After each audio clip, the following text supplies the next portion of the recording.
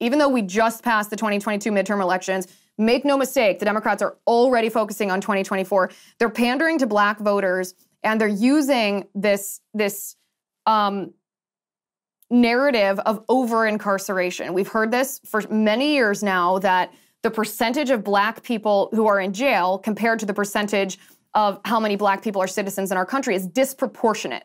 That's the word they use disproportionate.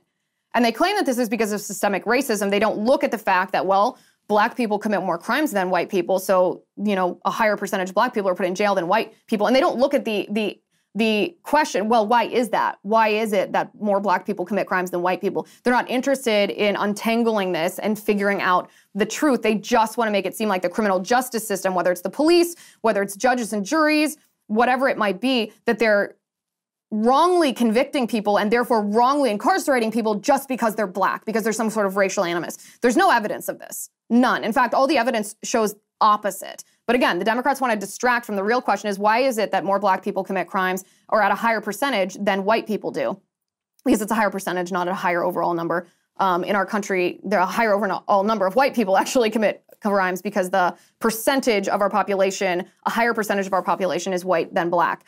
So what is the what is the reason? What is the ulterior motive of the Biden administration? Well, because this type of move is what happens as as as if you, this is what type of move happens if you are making an effort to prepare or condition a population for a mass release of drug offenders.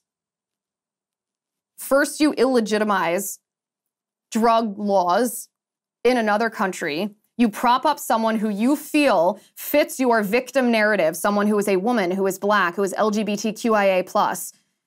You secure her release as if this is some kind of heroic move that she was targeted because of those characteristics versus because of her criminal activity. And then you use this to proceed an effort for mass release of drug offenders. Now, why would the left want mass release of drug offenders? Because the left desperately wants felons to be able to vote. They desperately want the, the population of prisons to vote Democrat. And this is part of their effort.